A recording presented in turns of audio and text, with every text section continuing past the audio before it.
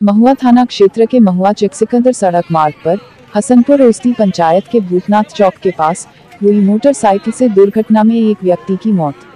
मृतक उसी गाँव का रहने वाला था। सोमवार की शाम गाँव के ही बाइक सवार ने ठोकर मार दी थी, जिसमें घायल व्यक्ति को इलाज के लिए अनुमंडल अस्पताल ले जाया गया था, जहाँ उनकी मौत हो गई।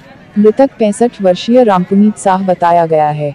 हाजीपुर सदर अस्पताल में शव परीक्षण के बाद परिजनों द्वारा कन्हौली के उनताहा पर शव को रख हाजीपुर महुआ सड़क मार्ग जाम किया है।